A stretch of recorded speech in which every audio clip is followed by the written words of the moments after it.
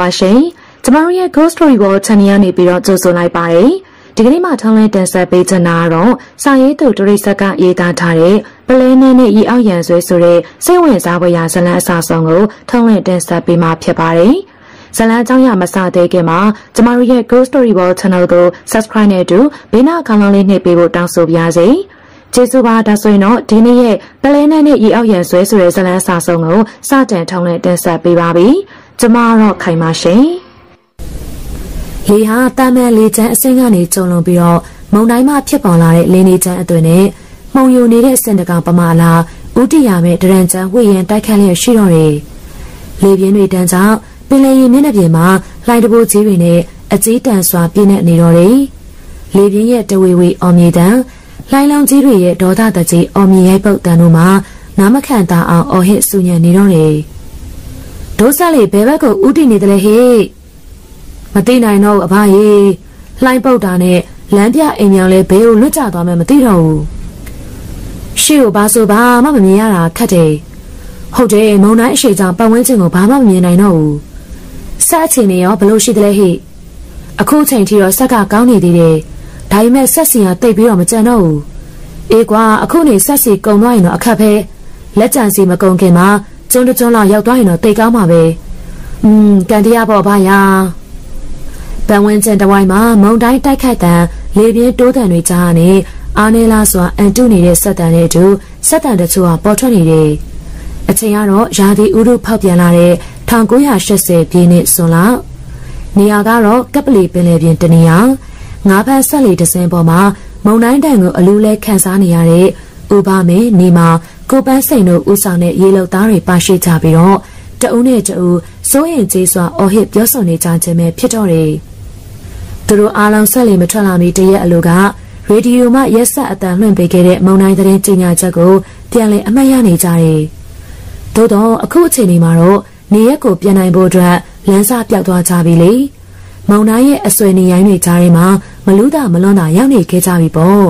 ။သူတို့စီးနှင်းလိုက်ပါလာတဲ့ဆက်လီမှာမြင်းကောက်ရည်60အားရှိတဲ့ဂါဂလာဆက်ရဲ့တွန်းအားတွေကြောင့်လှိုင်းကြားလေကြားမှာကြမ်းကြက်ခံလူးလွတ်လှုပ်ရှားလျက်ရှိနေတယ်။ပင်လယ်ပြင်မှာဖြစ်လိဖြစ်ထားရှိတဲ့အလှိုင်းမျိုးစားများစွာရှိတဲ့အနက်ကနေအခုသူတို့ရင်ဆိုင်နေရတဲ့အလှိုင်းကြီးတွေမှာအဝေးစီမှာဒေါသတကြီးပြေးလိုက်လာပြီးတော့အနီးရောက်တဲ့အချိန်ကျမှမွေဟောင်ကြီးတွေပေါက်တယ်လို့ပေါက်ချပြီးတော့ ခါပြက်လှိုင်းကြီးတွေဖြစ်တဲ့အတွက်ကြောင့်မိမိတို့ဆက်လီကလေးမှာအောက်ကိုရောက်မသွားစေဖို့အတွက်တတိကြီးစွာထားပြီးတော့ထိန်ချမောင်းနှင်ပေးနေရတယ်။အစင်မသိမှုဆိုရင်ဆက်လီတစ်စင်းလုံးရှိအောက်ကိုစုံစုံမြုပ်ပြီးတော့ရောက်ရှိသွားနိုင်တဲ့အတွက်ကြောင့်တမကင်သူကလည်းအထူးဂရုစိုက်ပြီးတော့မောင်းနေနေရတယ်။အခုအချိန်ဒီမျိုးမှာတမကင်သူမှာအလွန်ကိုအရေးကြီးဆုံးဖြစ်နေတယ်။၎င်းရဲ့တတိရှိမှုတတိရှိမှုဆုံးဖြတ်မှုအတွေ့အကြုံရင့်ကျက်မှုရေချောင်းလေချောင်းနားလည်မှု လှိုင်းဦးလှိုင်းပြခွဲခြားတတ်မှုမြေတို့ပင်အခက်ခဲကြုံစေသွေးအေးအေးစိတ်အေးအေးဆုံးဖြတ်မှုတွေပေါ်မှာသာဆက်လီနဲ့ဆက်လီပေါ်မှာပါလာတဲ့လူတွေအားလုံးရဲ့ကံကြမ္မာကမူတီလျက်ရှိနေတော့တယ်။သူဆုံးဖြတ်ချက်တစ်ခုမှားလိုက်မယ်ဆိုရုံနဲ့အားလုံးရဲ့ကံကြမ္မာက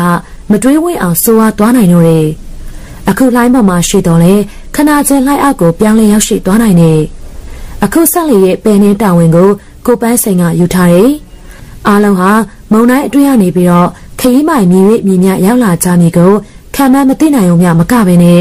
မြည်သည့်အရက်ကိုပင်ဥတီနေသည်ကိုသိနိုင်မှုအတွက်ကမလဲကူကြပြီ။သို့တော်လေလေရင်းစားမိစဉ်ကလေးကပင်လေဟာအနောက်မြောက်အရက်စီကိုဥတီတိုက်ခတ်နေတာကိုချင့်ချိန်ပြီးတော့ကံကောင်းထောင်းမမယ်ဆိုရင်ကိုကိုကျွန်းဘက်ကနေကျွန်းတကျွန်းစီကိုရောက်သွားနိုင်လိမ့်မယ်လို့မဝင်မရဲတွေးထားကြတယ်။ပန်ဝင်းကျင်တဝိုင်းမှာမှုံမိုင်းနဲ့လေတူနဲ့ကြီးမားတဲ့လှိုင်းတပုတ်ကြီးတွေက ပက်လေဝိုင်းထားကြတယ်။ဆက်လေတွင်းမှာတောက်ရည်နဲ့စားနေရိတ်ခါအလုံးလောက်ပါလာတဲ့အတွက်ကြောင့်အရီထက်ပို့ပြီးတော့အချင်းနဲ့ဆိုးဆိုးဝါးဝါဖြစ်မလာဘူးဆိုရင်ရဲအတန်ကြသေးသေးဆက်လက်ပြီးတော့အသက်ရှင်နိုင်လိမ့်မယ်လို့ခံမှန်းထားကြလေတယ်။အဲရီခိုင်ပါပဲ။အဘရေအဘဆက်လေပေပိုင်းကရေတွေဝင်လာတယ်ဗျို့။ဟေးတော်တော်များလားဟာ။တစ်ချက်တစ်ချက်စီးဝင်လာတာပဲ။ဆက်လေဖင်ချက်များပွင့်သွားလားမသိဘူး။ မတတ်နိုင်ဘူးဟေးနောက်ဆုံးအချိန်ထိတော့ညီညီညွတ်ညွတ်နဲ့တွန်းလှန်ကြော်ဖြတ်ကြမယ်။ဝင်လာတဲ့ရေကိုပတ်ထုတ်ကြဟိ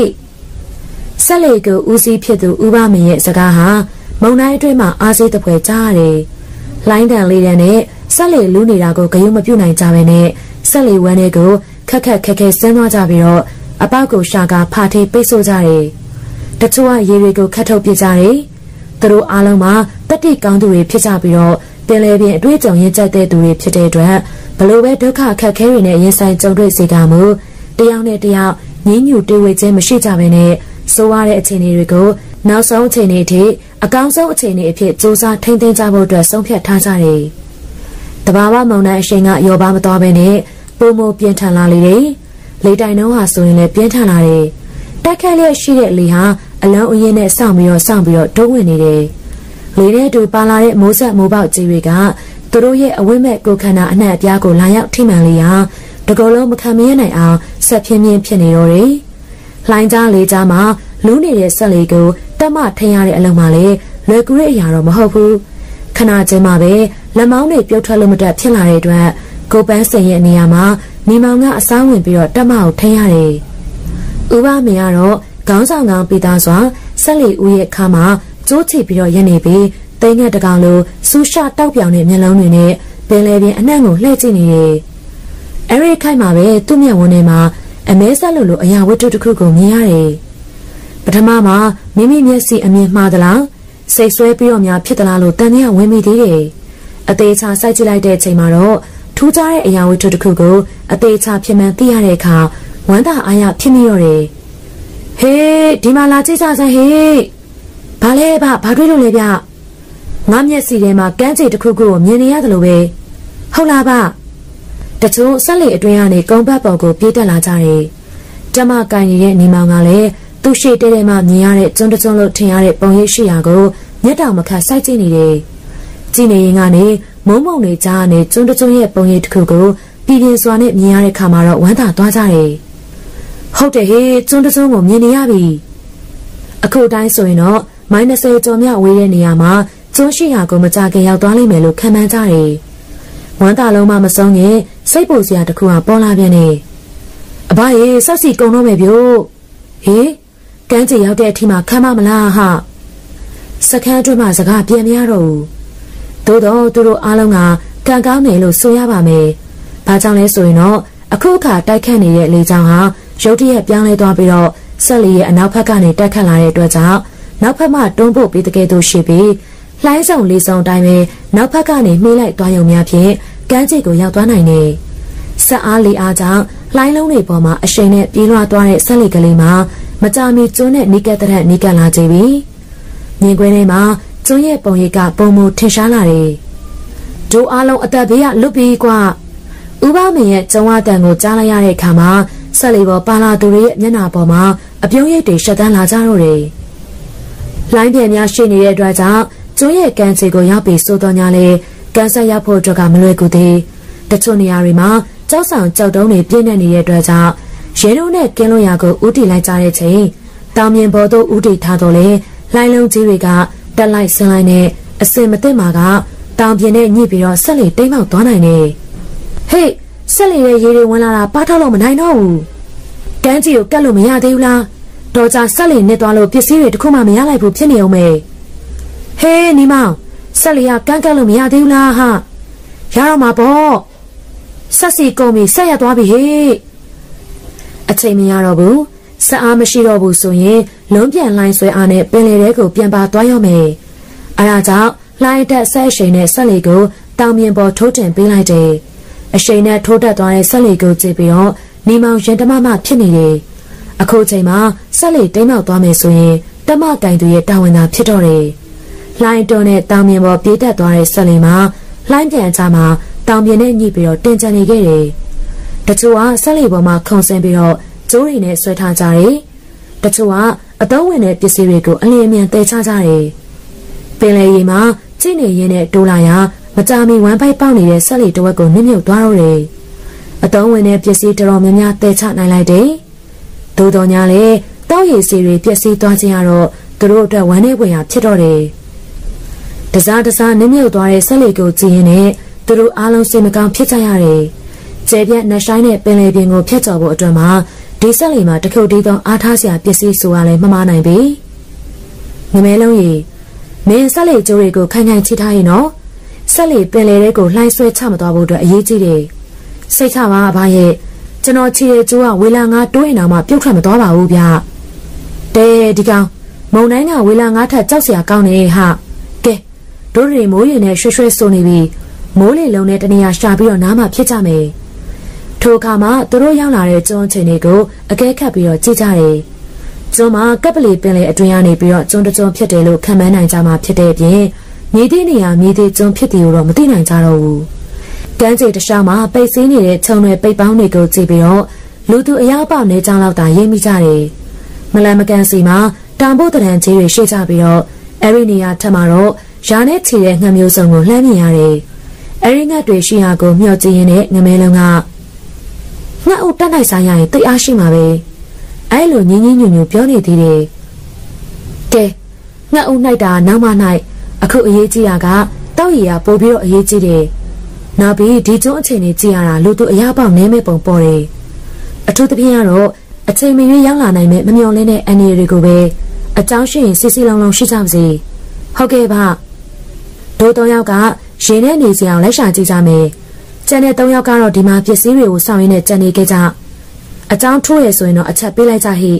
စိတ်ချပါပါဥပမေကိုပန်းစိန်နီမောင်တို့သုံးယောက်က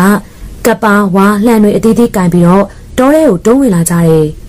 အခုခါမုံတိုင်းမှာအဆွဲစ조사ပြုလာတော့လေတာမန်ထပ်ပိုတဲ့အလေတိုင်နှုံးတွေကြောင့်တစ်ပင်ကြီးတွေမှာတဝဝအတန်မြည်ပြီးတော့အမူးလွန်နေသူပမာရဲထိုးလှုပ်ရှားလျက်ရှိနေကြတယ်ထူထပ်တဲ့ခြုံတွေကိုရှင်းလင်းကြော်ဖြတ်လိုက်တာနဲ့တောနဲ့အတွင်ပိုင်းကိုရောက်ကြလာပြီးတော့မြောက်တွေရှင့်တွေငှက်တွေရဲ့အထိတ်တလန့်အော်တန်တွေကိုကြားရတယ်အတွင်ပိုင်းရောက်လာလေလေခြုံတွေကပို့ပြီးတော့ရှုပ်ထွေးလာလေလေဖြစ်တဲ့အတွက်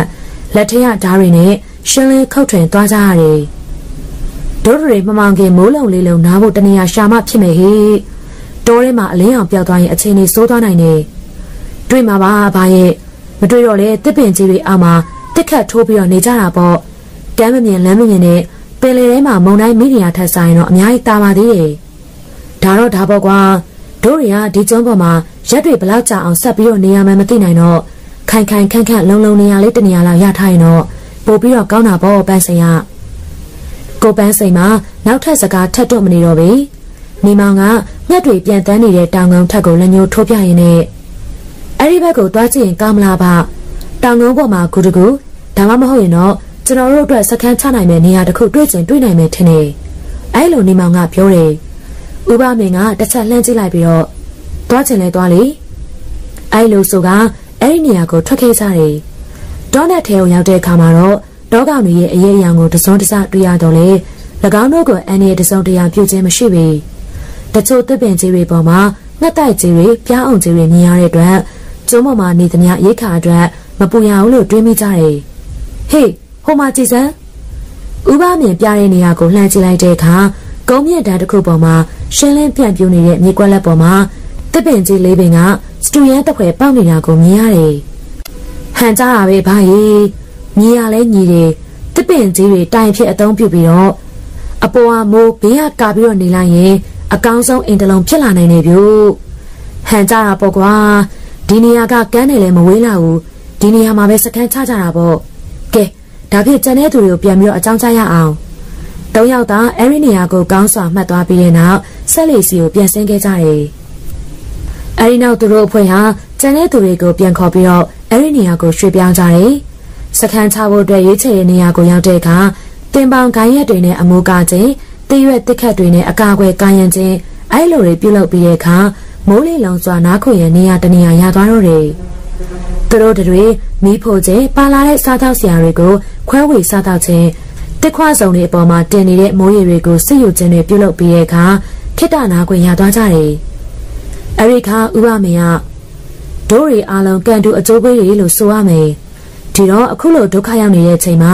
အရေးကြောင့်ရှိလာပြီဆိုရင်တော့စီးလုံးညီညွတ်ဖို့ကတိတ်ပြီးတော့အရေးကြီးတယ်။အခုရောက်နေတဲ့နေရာကကျွန်းတစွန်းဆိုပေမဲ့ဘယ်နေရာဘယ်ကျွန်းဆိုတာခံမရတာမလွယ်ဘူး။ဆက်လျာလည်းပြက်စီရလည်းမရှိတော့ဒလောက်မုံတိုင်းထန်နေတဲ့ပင်လယ်ပြင်ကိုအရေးစွန်ပြီးတော့ဖြတ်ဖို့ဆိုတာဘယ်နည်းနဲ့မှမဖြစ်နိုင်ဘူးဒါကတော့အသေးချာတာပေါ့အဘယာကောင်းတော့လဲရွက်ရွက်မရှိတော့လဲတက်ကိုအားကိုးပြီးတော့ ဖြစ်တဲ့နည်းနဲ့ပြန်စားမှာပဲဒါပေမဲ့အချိန်ခါတော့တီးခံပြီးတော့စောင့်ကြရမယ်အဲဒါကြောင့်နေတဲ့ခိုင်မှာတယောက်နဲ့တယောက်ညီညီညွတ်ညွတ်စီစီလုံးလုံးတော့ရှိကြပါစေနော်စိတ်ချစမ်းပါဗျာကဲဒါလို့ဆိုရင်ဒီညတော့တို့တွေပါလာတဲ့စားစရာတွေကိုမျှတပြီးတော့စားတော့ကြတာပေါ့မနက်လင်းနာနဲ့တောက်ရရဖို့နဲ့စားစရာရှာဖို့ထွက်ကြရမယ်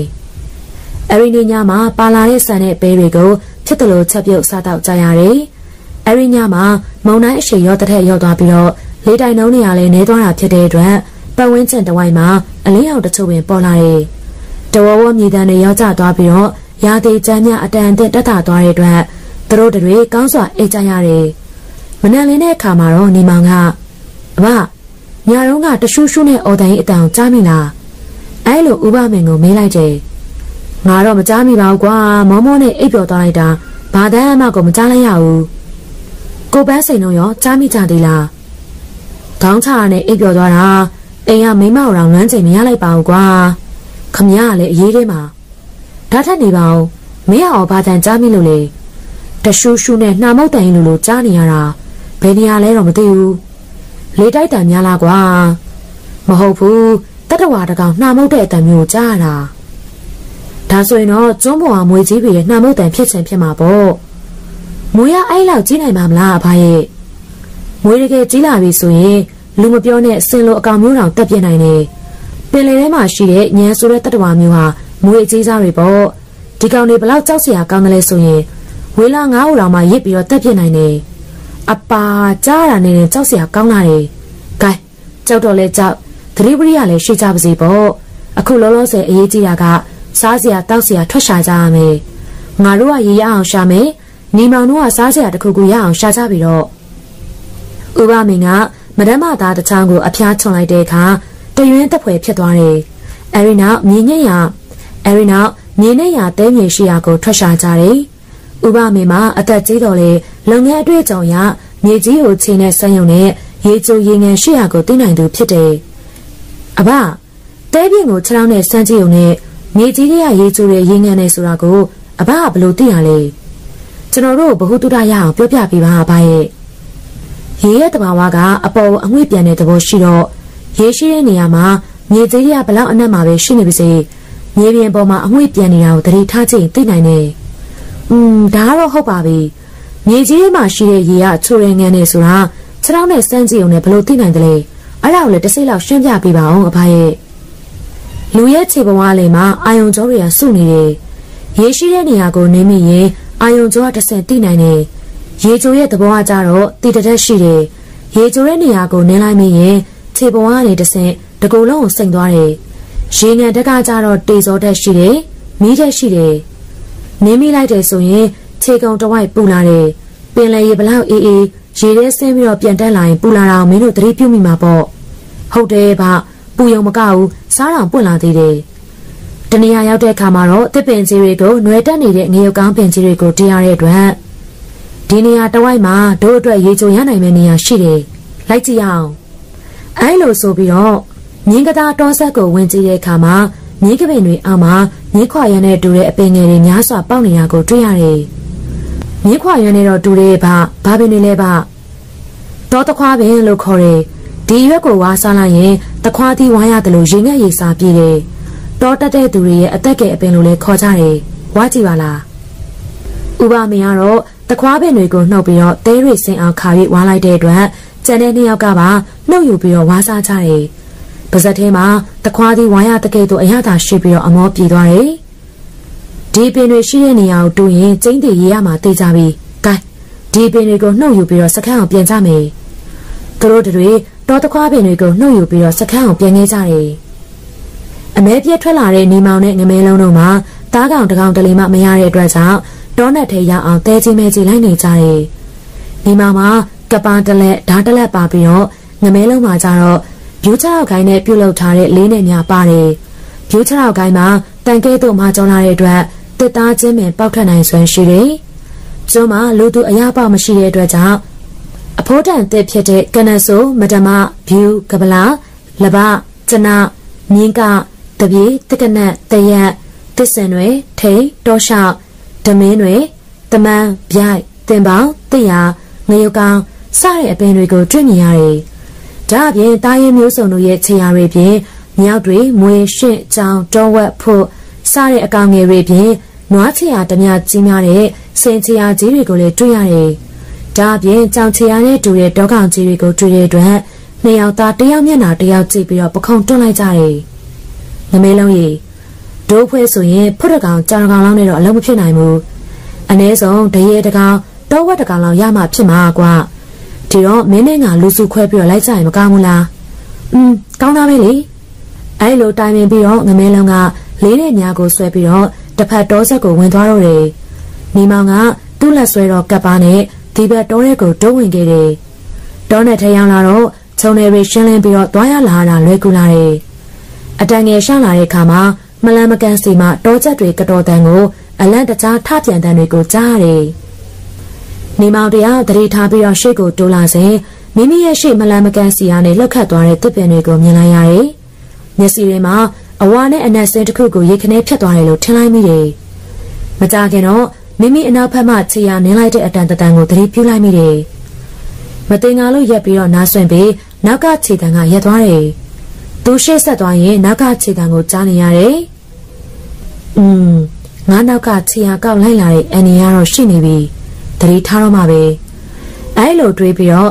လက်ထဲမှာကပ်ပါနဲ့ဓာတ်ကိုကြက်ကြက်ပါအောင်စုပ်ကင်ပြီးတော့ရှေ့ကိုဆက်ရှောင်လာစဉ်မလန်မကန်ကွက်လက်တနေရာကိုရောက်တဲ့အခါတရွက်နုကလေးတွေကိုစားနေတဲ့တရေက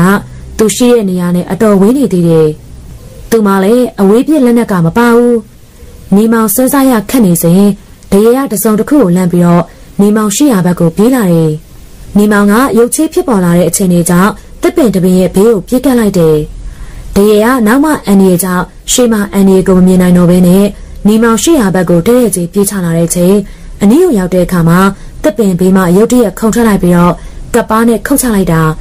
ချက်ကားကိုထိသွားတဲ့အတွက်မလန်းမကန်းမှာတုံးကနေပြစ်လဲကျသွားတော့တယ်။သူဝမ်းသာအားရနဲ့တရေရှိရာကိုပြေးသွားတဲ့အခါ နောက်ဖက်မှခြေရာကောက်ရန်သူကမြင်ကွင်းကိုထွက်လာတော့တယ်။ဟိုက်တောကောင်ကြီးပါလား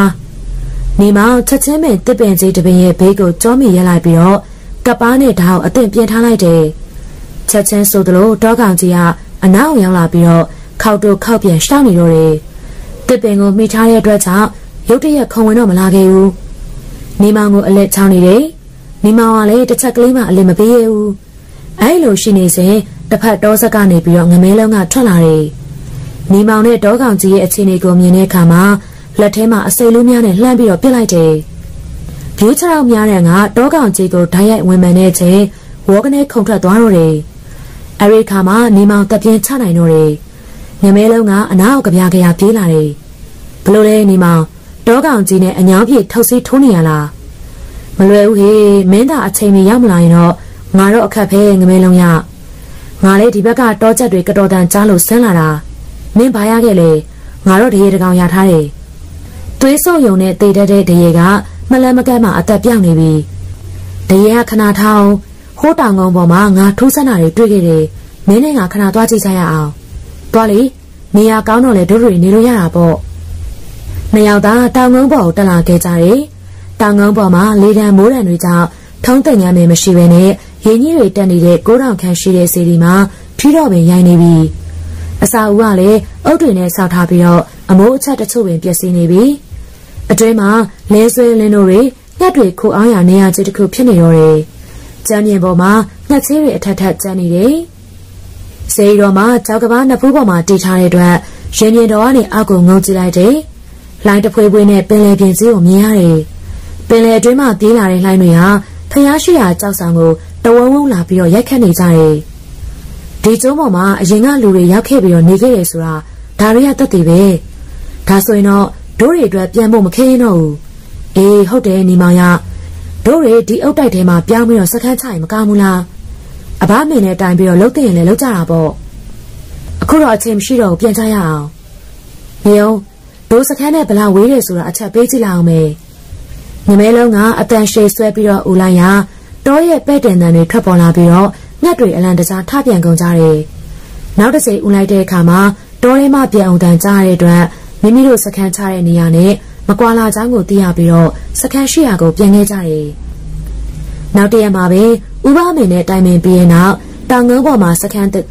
တောင်ငုံပေါ်မှာစခန်းတစ်ကိုရွှေ့ပြောင်းကြတယ်။ကျန်းပြင်ပေါ်မှာငှက်ချေတွေကိုအတော်ဖယ်ရှားပစ်ပြီးတော့မှနေထိုင်လို့ရသွားတယ်။။သိုးစိတ်ကမူအနက်တွေကတော့ပြောင်းမသွားဘူး။ ဥပမင်းကတော့လူကြီးပေပေဇေယတော်ပေါ်သွားပြီးတော့တန်ရှင်းရေးတွေပြုလုပ်တယ်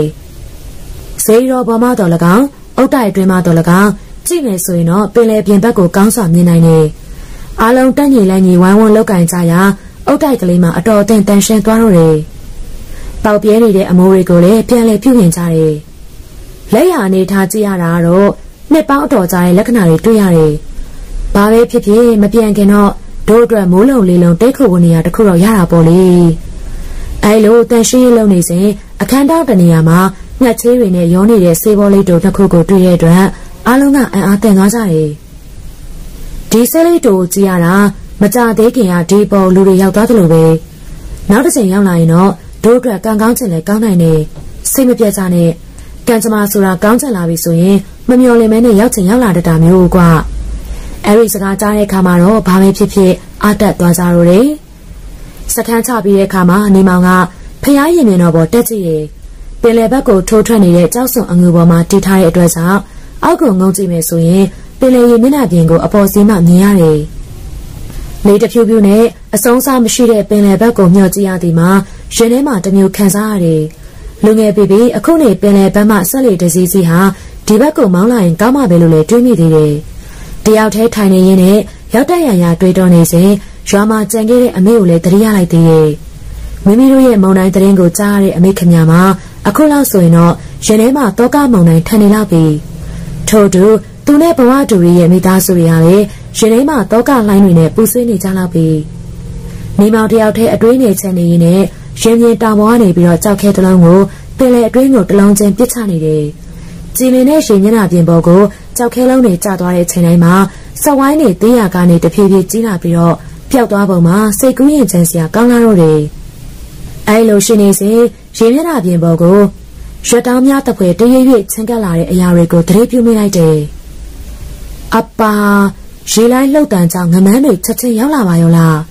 ။ငမန်းဆိုတဲ့တတဝါမျိုးမှာရေထဲမှာကြောက်စရာအကောင်းဆုံးတတဝါမျိုးဖြစ်တယ်။အမြင်အာယုံမကောင်းသလားအကြားအာယုံကအလုံးကိုကောင်းတယ်။ ဘလောက်ဖဲဝေးဝေးရေလိုက်ခက်တန်ကြားရောက်နဲ့အဲ့ဒီနေရာကိုချက်ချင်းရောက်လာလေရှိကြတယ်။အခုလေမိမောင်ရဲ့ကဲပြင်းတန်ကြောင့်ငမန်းတွေရောက်လာခြင်းဖြစ်တော့တယ်။ငမန်းတောင်တွေမှာရေပြင်ပေါ်ဝဲရွက်လီညာတပွဲတရေရွလှုပ်ရှားနေပုံမှာကြည့်လို့ပင်ကောင်းနေသေးတော့တယ်။မိမောင်ကအပေါ်မှာဂဲတလုံးပစ်ချလိုက်တိုင်းမှာအဲ့ဒီနေရာကိုငမန်းတွေကအလူအယက်ရောက်ကြတယ်။အဲ့ဒီငမန်းအုပ်ထဲကိုရောက်သွားလို့ကတော့လူမဆိုးထားနဲ့ နွားတကောင်ပဲခနာချင်းမှာအယိုးစုဘဝကိုရောက်သွားနိုင်တယ်။အဲ့လိုချင်းနေစင်မှာငမန်းတောင်တွေမှာရေအောက်ကိုအထိတ်တလန့်နဲ့ငုံရှိုးပြက်ွယ်သွားကြတော့တယ်။ခဏချင်းပင်ရေပြင်ပေါ်မှာငပန်းတကောင်တလေးမှမရှိတော့ဘူးနေမောင်အံ့ဩစွာနဲ့ကြည်နေစဉ်ပင်လေရေအောက်မှမိုးမောက်တဲ့ရေလိုင်းတွေကကြွတက်လာပြီးတော့မဲမဲတရံကြီးတစ်ခုကဖျားအောက်မှာရှိတဲ့ကြောက်ဆောင်ကိုတရွေ့ရွေ့တွန်းဝင်လာတာကိုအံ့ဩစွာနဲ့မြင်လိုက်ရတယ်။ဘာကောင်ကြီးပါလေဒီလောက်ရှိတာမွေတော့မဖြစ်နိုင်ဘူး။ ကြည်နေရင်မှပဲပင်လေရေပြင်ဟာပဂရီတိုင်းပြန်လဲပြီးတော့ငြိမ်သက်သွားလိမ့်တော့တယ်။ပင်လေရေဟာမုန်တိုင်းကင်းပြီးတော့လှိုင်းလင်းငိမ့်သက်နေသောအချိန်တွေမှာတက်ဆန်တဲ့မှန်တစ်ချက်တစ်ပွဲကြည်လင်နေတယ်။နှဆိုင်တဲ့ပင်လယ်ရေအောက်မြင်ကွင်းတွေကိုပင်နေအောင်ကြည့်နဲ့မြင်နိုင်တယ်။ငယ်စဉ်ကလေးကဖြန်တကောင်ပမာရေအောက်မှာကရိယာတစုံတရာမပါဘဲနဲ့အချိန်ကြာမြင့်စွာနေနိုင်အောင်လေ့ကျင့်ထားတဲ့ညီမောင်ဟာရေအောက်မှာစိတ်ကြလှုပ်ရှားသွားလာနေတယ်။ ခါမတမြောင်တလန်းနဲ့အိတ်ရှုပ်တလုံးချိတ်ဆွဲထားတယ်။အပေါ်အင်ကြီးမပါဘဲနဲ့ဘောင်းမီဒုတ်ကလေးနဲ့လေကုတ်ထိဝဲကြနေတဲ့စပင်ရှည်တွေကိုတရေပင်နဲ့နှစ်ဖူးမှတိုင်းစီထားတဲ့အတွက်ကြောင့်ဖြန်တကောင်ပေါ်မှာလှုပ်ရှားသွားလာနေတယ်။ရေအောက်မှာကြောက်ဆောင်တွေပင်လေရေမောင်းရေအောက်ကြောက်ခတ်ပင်တွေကြောက်တုံးတွေကြားမှာကုခတ်သွားလာနေတဲ့ငါးတွေကိုမြင်နေရတယ်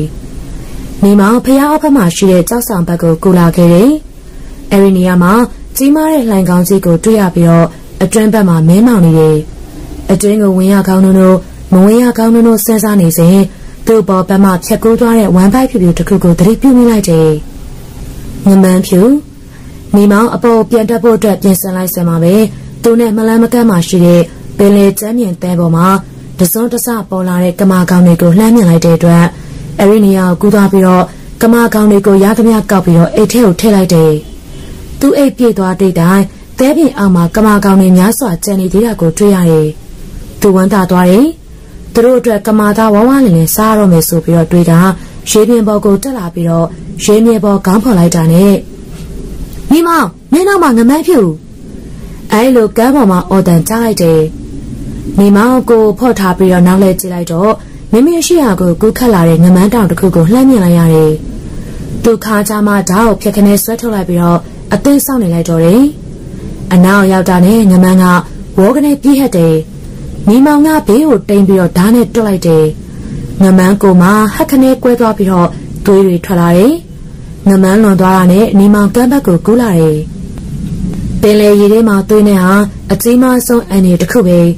အဲ့ဒီသွေးတန်းကြောင့်မကြခင်သားစားငမန်းတွေရောက်လာကြတော့မယ်နီမောင်ကန်းဆက်ရောက်ခံဒီမှာဒဏ်ရာရထားတဲ့ငမန်းကနီမောင်ရှိအောင်တစော့ပြန်လာတယ်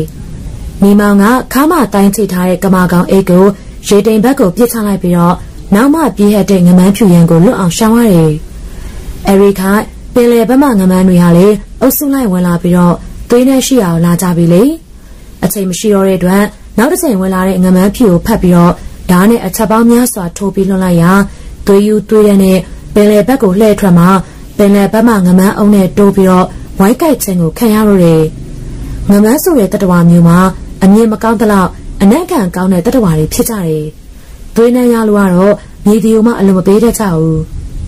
ငမန်းတွေလှရှားမှုတွေကြောင့်ရေပြင်ပေါ်မှာတဝုံဝုံနဲ့ရေလိုင်းတွေထားနေစဉ်နေမောင်ကမ်းပေါ်ကူးတက်ခဲ့တယ်။ကန်းဆမငမဲအောင်ကစိုးရိမ်စွာနဲ့ကမ်းပေါ်ကိုဆွဲတင်လိုက်တယ်။မင်းအတော့ကိုရဲစွန်တာပဲဒီလောက်အန်ရများတဲ့နေရာမှာရေအောက်မှာအကြိုင်းနေရသလားကွာ။ကမာကောင်တွေတင်းလို့ဆင်းယူနေနေကြာသွားတာပါ။ ငါရေအောက်မှာထူးဆန်းတာတခုတွေ့ခဲ့ရတယ်ငမဲအောင်။ဘလို့ထူးဆန်းမှုလဲ။ဖျားအောက်မှာလှိုင်ကောင်းကြီးတွေ့ခဲ့ရတယ်။တနေ့လောက်မင်းနဲ့ငါဝင်စီရအောင်။အန်ဒီရများလာပါတယ်ကွာထူးခြားတာတွေတွေ့ကျင်တွေ့နိုင်တယ်ကွာအဘမေမသိမှဖြစ်မယ်သူသိရင်တော့ခွင့်ပြုမှာမဟုတ်ဘူးဒါဖြစ်လဲမင်းနဲ့ငါသာသိပါစေကောင်းပြီလေရာသီဥတုတာရတဲ့ခါကျရင်ကြည့်ကြတာပေါ့နှစ်ယောက်သားတိုင်ပင်ပြီးတော့ကမာကောင်အထုပ်ကိုထမ်းပြီးတော့စခန်းအောင်ပြန်တက်ခဲ့ကြတယ် စခန်းအောင်ပြန်ရောက်ပြီးတော့နေမောင်ရလာတဲ့ကမာကောင်တွေကိုခွဲဝေတဲ့အခါတချို့ကမာကောင်တွေအတွင်းမှာရှိတဲ့ပလဲတစ်ကိုရှိတယ်อืมဒီနေရာမှာကမာကောင်တွေအစုလိုက်အပြုံလိုက်ရှိနေတယ်ထင်တယ်။တို့တွေမမျော်လင့်မဲနဲ့ပလဲအိုင်ပေါ်ရောက်နေပြီထင်တယ်။ဒါလို့ဆိုရင်တော့ကောင်းတာပေါ့ကွာ။ဟင်းစားလေးရပလဲလေးရတာပေါ့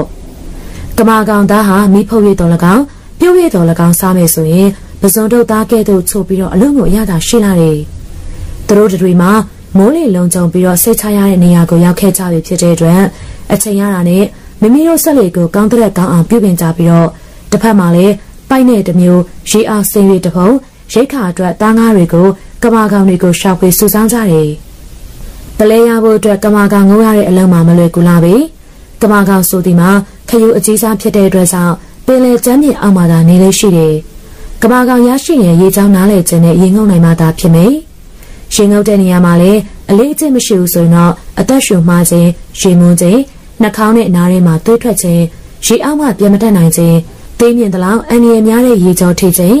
ငမန်းကဲ့သို့သားစားတတဝါများရန်မှုခြင်းများဖြစ်တတ်ခြင်းသို့သောငယ်စဉ်ကလေးက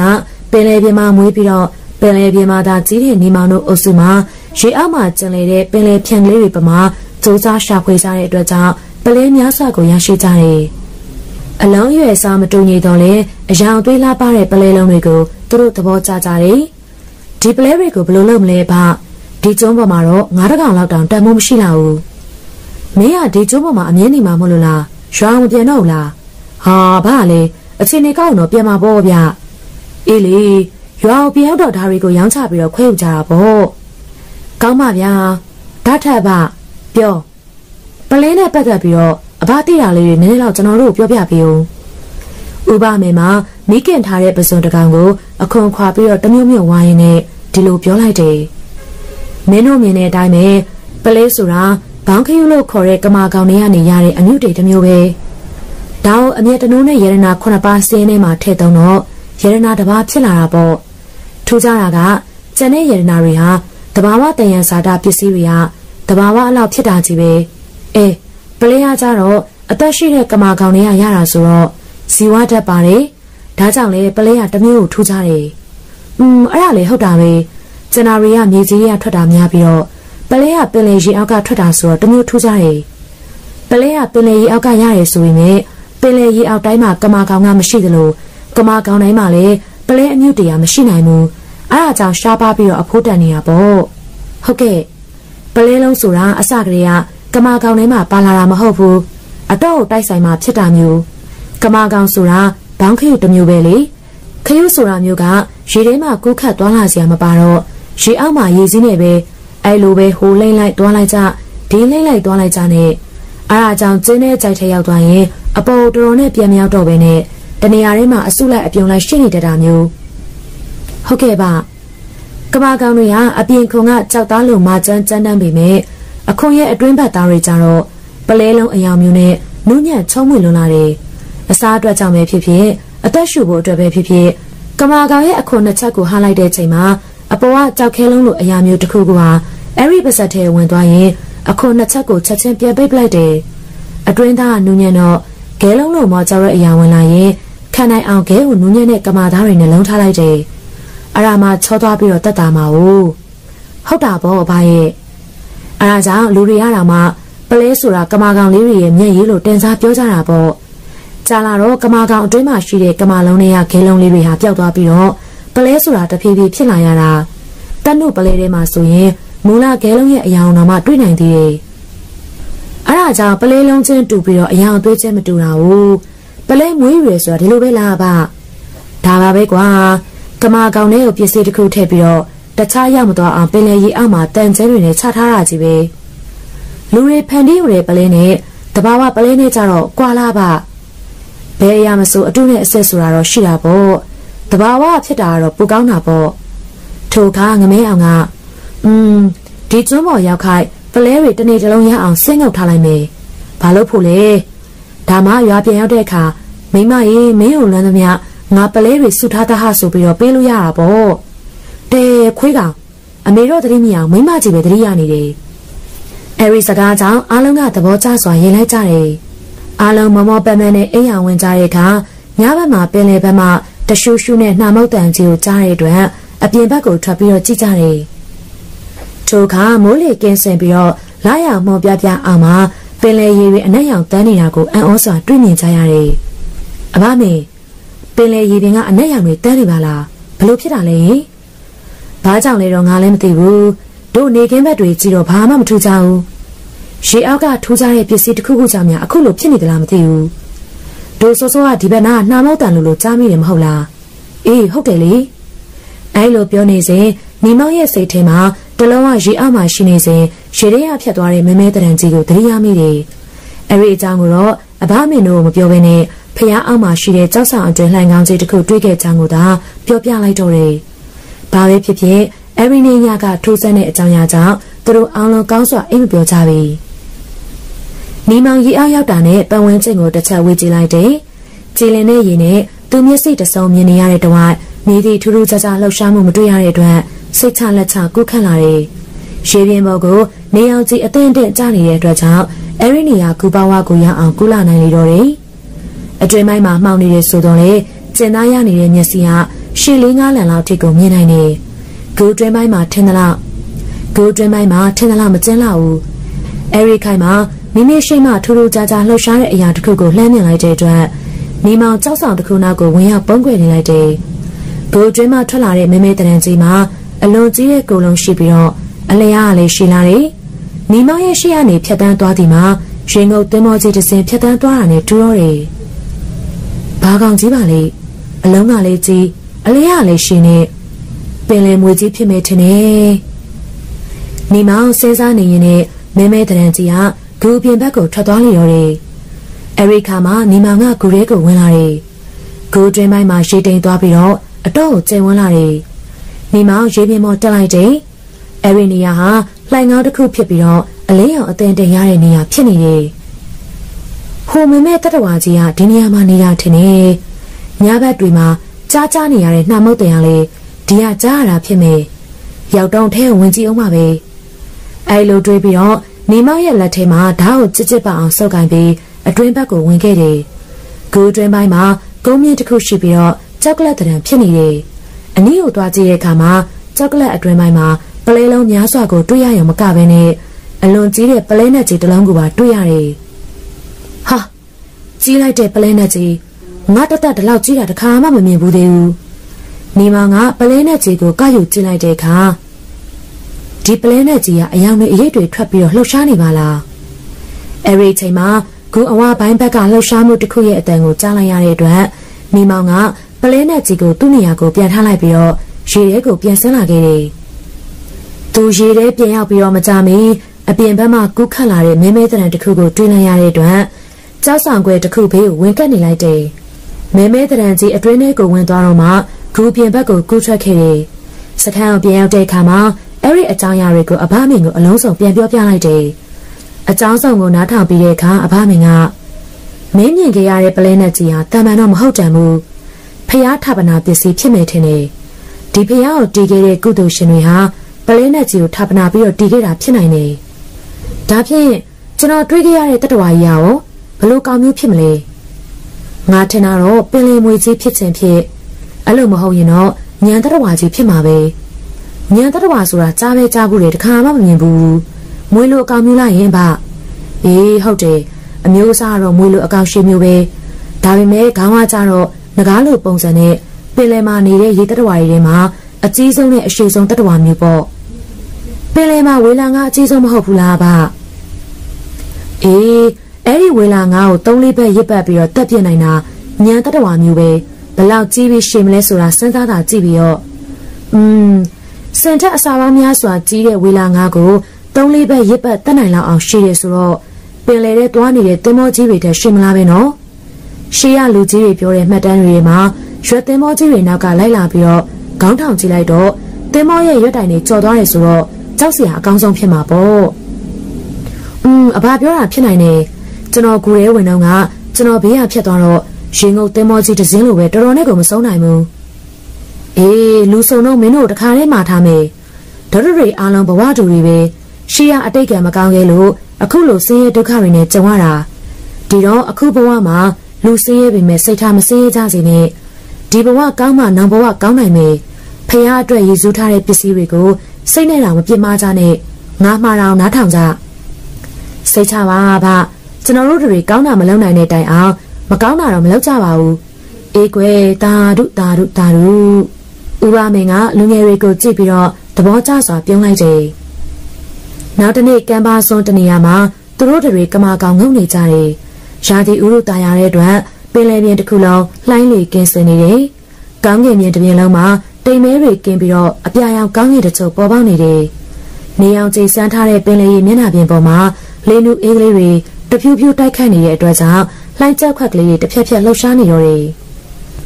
ရာသီဥတုကောင်းတဲ့အတွက်နေမောင်တို့အဖွဲ့သားအလုံးဥပမင်မမကြမ်းပင်လယ်တွင်းဆင်းပြီးတော့ကမာကောင်ငုတ်ကြတယ်။ရသမျှကမာကောင်တွေကိုကမ်းပေါ်မှာစုပုံထားကြတယ်။အရိကပင်လယ်ပြင်အဝေးတနေရာစီကနေခုံမောင်းလာတဲ့သင်္ဘောဆက်တန်းကိုစတင်ကြားလိုက်ရတယ်။အရိဆက်တန်းကြောင့်သူတို့အားလုံးရေထဲကနေကမ်းပေါ်ကိုတက်ပြီးတော့ပင်လယ်ဘက်ကိုမျှော်ကြည့်ကြတယ်။အောက်မှကြည့်ရတာမမြင်တဲ့အတွက်ကြောင့် ဖျားရှိရာတောင်ကုန်းပေါ်ပြေးတက်ပြီးတော့မျှော်ကြည့်ကြတယ်။အတန်ကြာသေးသည့်တင်မောဆက်တန်တတိတိကိုသာကြားနေရပြီးတော့တခြားဘာမှမမြင်ရဘူးပင်လယ်ရင်းနှီးတာပြင်ပေါ်မှာတော့နေအောင်ကြေကြောင်တန်ရက်တွေထနေတယ်အတော်ကြာတဲ့အခါမှာပင်လယ်မျက်နှာပြင်ပေါ်မှာအမဲဆက်ကလေးတွေကိုစတင်မြင်ရတယ်တင်မောတစီဟေးဒီဘက်ကိုလာနေရများလားဟုတ်တယ်ဟေးဒီဘက်ကိုလာနေတာဒါပေမဲ့တေးချောင်အလံပြလိုက်မယ်နေမောင်ကရွက်ဖြင်စားတစားကိုမျောတိုင်မှာချိပြီးတော့ဟွေရန်ပြလိုက်တယ် မကြမီပင်လယ်ပြင်မှာခုံမောင်းလာတဲ့တင်မောတစီရဲ့ပုံတရံကိုတဲတဲကွဲကွဲမြင်လာရတယ်။တင်မောကသူတို့ရှိရာကျွန်းဘက်ကိုဦးတည်မောင်းလာတယ်။ဟေ့ဒိုကျွန်းဘက်ကိုလာနေတာကွာ။ဟန်ကြတာပဲဟေ့ဒိုတွေတော့ကျွန်းဆန်ဘဝကနေလွတ်တော့မယ်ထင်တယ်။နေမောင်ကတော့အာရဝန္တာစွာနဲ့ဖြင်းစားအလံကိုဝှေ့ရမ်းပြနေစေပြီ။ခုံမောင်းလာသည်မှာဆက်လေတစင်းဖြစ်ပြီးတော့သူတို့ရှိရာကိုဦးတည်မောင်းလာတယ်။တစားတစားကန်းနဲ့နီးနိုင်သမျှနေလာတယ်။ ဆက်လေဦးပိုင်းမှာလက်နက်ကင်ထားတဲ့လူသုံးလေးယောက်ရက်နေတယ်။အဘတောင်းချမ်းသူတွေများလားဘာပဲဖြစ်ဖြစ်တတိတော်ထားကြအခွင့်အရေးရတာနဲ့ဒုဒတွေလွတ်မြောက်ဖို့အခွင့်အရေးရအောင်စူးစမ်းရမယ်ကြားလားစိတ်ချပါမကြမီကြောက်ဆောင်ရှင်းတဲ့နေရာမှာဆက်လေစိုက်ကပ်ပြီးတော့လူ6ယောက်ဟာကမ်းမော်ကိုခုန်တက်လာကြတယ်သူတို့ရဲ့လက်တွေမှာလက်နက်တွေအသေးသေးပါလာကြတယ်နေမောင်တို့နေကိုရောက်တဲ့အခါမှာတနက်တွေနဲ့ချိန်ထားလိုက်တယ် မင်းတို့ဘသူတွေလဲဘယ်ရရောက်လာကြတာလဲအဲ့ဒီချိန်မှာဥပမင်ကကျုပ်တို့ကရေလုတ်သားတွေပါကရုံကတိဘက်ကလာကြတာဘလို့ဖြစ်ပြီးတော့ဒီကျုံကိုရောက်နေရလဲတလုံးကမုံတိုင်းမိပြီးတော့ဒီကိုရောက်လာကြတာဆက်လျာရောဟိုတောင်ဆက်မှာတင်ထားပါတယ်အဲတော့မှခေါင်းဆောင်ဖြစ်သူကယုံကြည်သွားဟန်နဲ့တနတ်တွေကိုလွယ်လိုက်တယ်ဒီနေရာကဒိုအမြဲလာပြီးတော့စကန်ချနေတဲ့နေရာပဲမင်းတို့ဒီကိုရောက်တာကြာပြီလား တလားကြော်လောက်ရှိပါပြီဟုတ်လားဒီမှာဘာတွေထူးခြားတာတွေတွေ့ကြသလဲကျုပ်တို့တော့စားစရာလိုရင်ပင်လေတဲ့ဆင်းရှာလိုက်တာစားလိုက်တာပဲဘာတခုမှထူးခြားတာတော့မတွေ့ဘူးဒီကြောက်ဆောင်အောက်ကပလဲတွေတော့ရထားတာရှိတယ်ဟမ်ပလဲတွေဟုတ်လားဟုတ်ပါတယ်စုထားတာအတော့များနေပြီအဲ့ဒီပလဲတွေကိုကျုပ်တို့ကိုပေးမလားပြန်ရင်ခမားတို့တင်ခေါ်သွားမယ်ဘယ်နဲ့လဲပေးပါမယ် ဒီပလဲတွေကကျုပ်တို့အတွက်အဖို့မတန်လာပါဘူးရွာပြန်ရောက်မယ်ဆိုရင်ဝမ်းသာလာပါပြီရှာထားသမျှပလဲတွေအားလုံးကိုပေးပါမယ်ကောင်းပြီဒါထက်ခမားတို့ကဒီမှာပလဲငုံကြတာကြာပြီဆိုတော့ပလဲနဲ့ကြီးတလုံးအများမတွေးမိကြဘူးလားအဲရီစကားကြောင့်နေမောင်တို့တယောက်မျက်နှာတယောက်ကိုကြည့်လိုက်ကြတယ်သူတို့ချင်းချင်းကြည့်တဲ့အချိန်မှာအချင်းချင်းသာနားလည်နိုင်တဲ့အဓိပ္ပာယ်တွေပါဝင်နေပလဲနဲ့ကြီးကိုကျွန်တော်တွေ့ထားတယ်ဟမ်ဟုတ်လားအခုပဲမလဲ လောဘသားတွေရဲ့မျက်လုံးတွေထဲမှာအယောင်လက်လာတယ်မင်းရွာသေးပါဘူးရှေအောက်မှာပဲရှိပါသေးတယ်မင်းနေအောင်မှတ်မိလားမှတ်မိပါတယ်ဒီလိုဆိုရင်မင်းစိမ့်ယူပေးမလားကျွန်တော်ယူလို့မရဘူးအဲ့ဒီမှာပလဲနဲ့ကြီးပြင်တခြားရတနာပစ္စည်းတွေလည်းအများကြီးရှိသေးတယ်ဟေးနောက်မှရောက်လာသူတွေကတယောက်မျက်နှာတယောက်ကိုကြည့်လိုက်ကြတယ်ဒီလိုဆိုရင်မင်းနေအောင်ပြပေးမလားတို့တွေစိမ့်ယူကြမယ် လူများမှဖြစ်မယ်။အိုးရတယ်ဆက်လီပေါ်မှာအဆောင်တယောက်ပဲထားခဲ့ပြီးတော့အကုန်စင်းကြမယ်။တို့တွေအားလုံးကရေငုပ်ကျွမ်းကျင်တဲ့သူတွေကြီးပဲ။အဲလိုဆိုရင်လိုက်ပြပေးမယ်အစင်းနဲ့ပြင်ထားကြပါ။ကျွန်တော်အချိန်လေးကြည့်လိုက်အောင်မယ်။အဲလိုဆိုပြီးတော့နေမောင်နဲ့ငမဲအောင်တို့ဟာအသားတုံးတွေယူပြီးတော့ကြောက်ဆောင်မော်တက်ခဲ့ကြတယ်။ဒီအသားကြောက်တွေဘာလို့ဖို့လဲနေမောင်ရ။အသားနေငါမှအကြံရှိတယ်။ရီအောက်ရောက်ရင်ငါအချိန်ကိုကြည့်ပြီးလှုပ်ရှားတော့ကြားလား။အေးပါကွာအေးပါ။ ကမ်းမရောက်တဲ့အခါမှာသွေးညင်နဲ့ပါတဲ့အသားတုံးတွေကိုရေထဲကိုပစ်ချတယ်။ခဏကြာတဲ့အခါမှာသွေးနှမ်းကြောင့်ငမဲတွေတကောင်စားနှကောင်စားရောက်လာပြီးတော့မကြမီအများပြရောက်လာကအသားတုံးတွေကိုအလူရက်စားတော့ကြတယ်။အဲလိုရှင်နေစဉ်ရေအောက်မှမဲမဲတရံကြီးတစ်ခုရောက်လာပြီးတော့ငမန်းတွေကိုလိုက်လံကြိုက်တဲ့ရာငမန်းတွေမှာကုခတ်ပြေးစားရတော့တယ်။မဲမဲကောင်ကြီးကလည်းတကောင်မှအလုံးမပေးဘဲနဲ့နောက်ကလိုက်ပြီးတော့ကြိုက်သက်ဝါမြူနေတော့တယ်။မိမောင် အဲ့ဒါမင်းပြောတဲ့အကောင်ကြီးလားကြောက်စရာကောင်းလိုက်တာဘာကောင်ကြီးလဲအဘမင်းပြောတဲ့ညံဆိုတဲ့တတ္တဝါကြီးဖြစ်မှာပေါ့ကွာကဲအချိန်မရှိဘူးကွာတတ္တဝါကြီးအပြင်ထွက်သွားတော့တို့ကူတဲ့ဝင်ကြရအောင်ဖြစ်ပါမလားလာပါငါပြောတဲ့အတိုင်းသာလုပ်အချိန်မရှိဘူးအဲ့ဒီနောက်နီမောင်နဲ့ငမဲအောင်တို့ဟာလူစိမ်း9ယောက်ကိုခေါ်ပြီးတော့ရေထဲကိုဆင်းကြတယ်နီမောင်ကရေထဲကိုမဆင်းခင်မှာကြံခဲ့တဲ့အဘမင်းတို့အဖွဲကိုအချက်ပြခဲ့တယ်လူစိမ်းတွေကတနတ်တွေကိုထားခဲ့ပြီးတော့ ခါမဓာတ်တလက်စီယူဆောင်ခဲ့တယ်။ရှေးအောက်ကိုရောက်တဲ့အခါမှာနေမောင်ကရှေးကနေဥဆောင်ပြီးတော့ကိုတွင်းကိုဝင်နေငမဲအောင်တဲ့လူစင်းတွေကနောက်ကနေလိုက်ကြတယ်။အတန်ငယ်ကူးတဲ့ချိန်မှာပလဲနဲ့ကျေရှိဟာကူအမြင်ပိုင်းကိုရောက်ကြတယ်။ပလဲတွေရှိဟာကြောက်ကလက်စီကိုရောက်တဲ့အခါမမျော်လင့်မဲနဲ့အဖိုးတူကိုလှမ်းမြင်ရတယ်။ဒီဖိုးရဘာလို့လဲ။ကျွန်တော်လည်းမသိဘူး။လူစိမ်း၅ယောက်ကမယုံသင်္ကန်းနဲ့ကန်းဆက်ပေါ်တက်သွားတယ်။ထိုအခါအဖိုးက မောင်ရင်တို့ကဘာလာလောက်ကြတာလဲဒီကပလဲနဲ့ကျူယူမလို့လာတာခမရဘာတူလဲကျုပ်လဲပင်လေတွေကလူတယောက်ပါပဲမောင်ရင်ပြောတဲ့ပလဲနဲ့ကျူဆိုတာယူလို့မရဘူးကွဘာဖြစ်လို့လဲဒါဖះပစ္စည်းလေဖះကိုလှူထားပြီးသားဆိုတော့ယူလို့မရဘူးယူလို့မရလဲကျုပ်တို့ကတော့ယူမှာပဲဒီပလဲနဲ့ကျူကိုတရင်ကြားပြီးတော့လာလာရှာနေတာအတော့ကိုကြားပြီခမရနဲ့မဆိုင်ဖဲနေကောင်းပါပြီဒါပေမဲ့မကောင်းတာပြုတဲ့သူဟာ ကိုပြုတ်တဲ့တောင်ကိုခံရတယ်နော်အဲ့ဒါကိုတော့မှတ်ထားအဲ့လိုပြောပြီးတော့ရေထဲကိုဆင်းပြီးငုတ်သွားလေတော့တယ်လောဘသားတွေကတော့အဖိုးကြီးဆင်းသွားတာနဲ့ပလဲနဲ့ကြီးရှိရာကြောက်ကလက်စီကိုအလူရက်တက်သွားကြတယ်အဲ့ဒီချိန်မှာဂူဝါပိုင်းမှာရေလိုင်းခတ်တန်ကြီးတစ်ချက်ကိုကြားလိုက်ရတာနဲ့နေမောင်ကမဲအောင်ကိုအချက်ပြပြီးတော့ရေထဲကိုပြန်ဆင်းကြတယ်သူတို့နှစ်ယောက်ရေထဲရောက်ပြီးတော့မကြမီမှာဂူဝါမှမဲမဲတရံကြီးကပြန်ဝင်လာတယ်အဲရီက နှစ်ယောက်သားကြောက်ဆောင်တစ်ခုဘေးမှာကပ်နေပြီးတော့တရဝါကြီးလွန်သွားတော့မှဂူအပြင်ကိုခတ်တွတ်တွတ်ကူးထွက်ခဲ့ကြတယ်။ဂူတွင်းမှာပလဲနဲ့ကြီးကိုလောဘတက်နေသူ၅ယောက်ကတော့အဲလာမြောက်ကြီးမရှိလျားတဲ့တတဝါကြီးရန်ကနေဘယ်နည်းနဲ့မှလွတ်နိုင်စရာမမြင်တော့ဘူးနေမောင်တို့ကမ်းပေါ်ရောက်တဲ့အခါမှာဆက်လီဘောကအဆောင်ကိုဖမ်းဆီးထားပြီးတော့ဦးဝမင်းတို့အခွေရဆက်လီကိုအပိုင်စီးထားကြလိမ့်ပြီ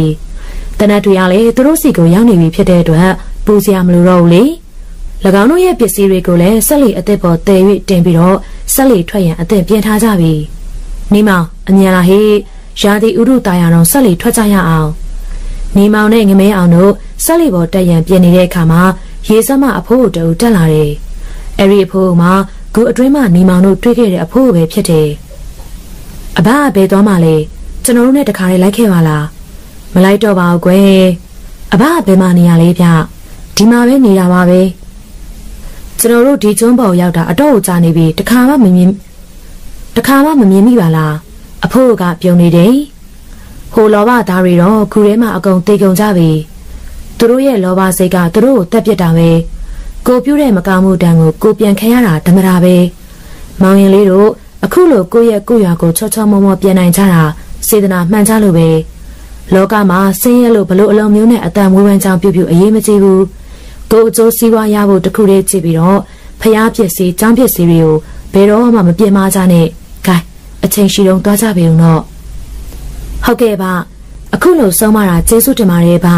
ကျွန်တော်တို့တွေအမြဲမှတ်ထားပါမယ်အဘကိုကျွန်တော်တို့ကြောခဲ့ပါတယ်အားလုံးကဆက်လီပေါ်ကနေပြီးတော့အဖိုးကြီးကိုကြောကြတယ်အဖိုးကစုရီပေးပြီးရဲ့နောက်ရေအောက်ကိုပြန်ဆင်းသွားလိတော့တယ်နေမောင်တို့တွေဟာလည်းအချိန်လေးကိုစောင့်ကြည့်နေကြပြီးတော့ မထူကြတော့မှဆက်လီထွက်ရန်ကျိုးတွေဖြုံနေကြစဉ်ဖះအောက်ခြေတဝရေပြင်ပေါ်မှာလှိုင်းတွေထလာတယ်